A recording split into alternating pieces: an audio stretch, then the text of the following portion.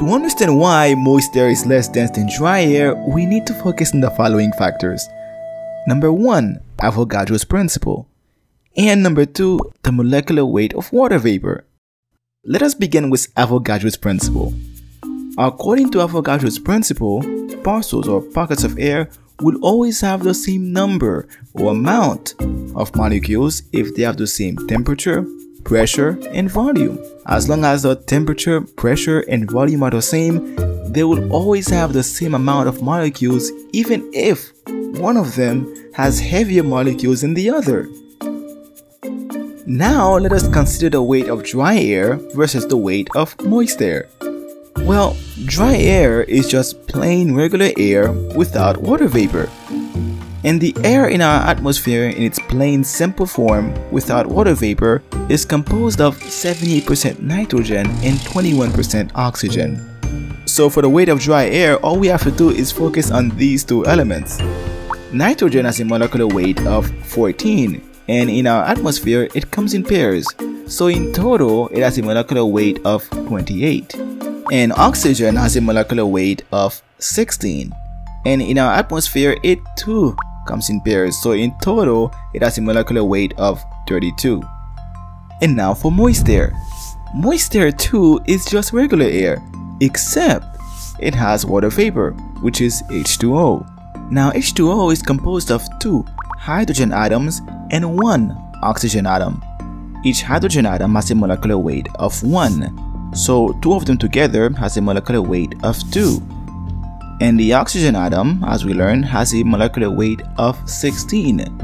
So in total, water vapor, H2O, has a molecular weight of 18. This means water vapor is extremely light compared to paired nitrogen and paired oxygen, which naturally occur in our atmosphere. So now you can start to see why moist air is less dense than dry air. But to thoroughly understand this, we must go back to Avogadro's principle. Now we are going to consider an example of an empty jar with dry air. If for example that jar has 4 paired nitrogen and 1 paired oxygen, the total molecular weight would be 144. And now think about another jar, and this time we are going to put 2 molecules of water vapor inside. But for us to do that, we have to think about Avogadro's principle. The amount of molecules must remain the same. So to keep the amount of molecules inside the jar the same, water vapor will displace some of the other molecules, which are paired nitrogen and paired oxygen. And because water vapor is much lighter than paired nitrogen and oxygen, the overall density of the jar will be much lower. So this is why a parcel of moist air is less dense than a parcel of dry air. And this important fact explains why there can be severe weather and instability between moist and dry air masses. And ironically, moist air or humid air feels more dense than dry air.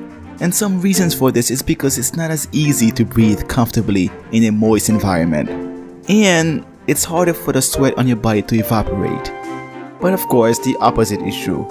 Moist air is in fact less dense than dry air. So as you can see, it's pretty simple to understand why moist air is less dense than dry air. You can find an online version of this lesson from emeteorology.com. Thanks for watching.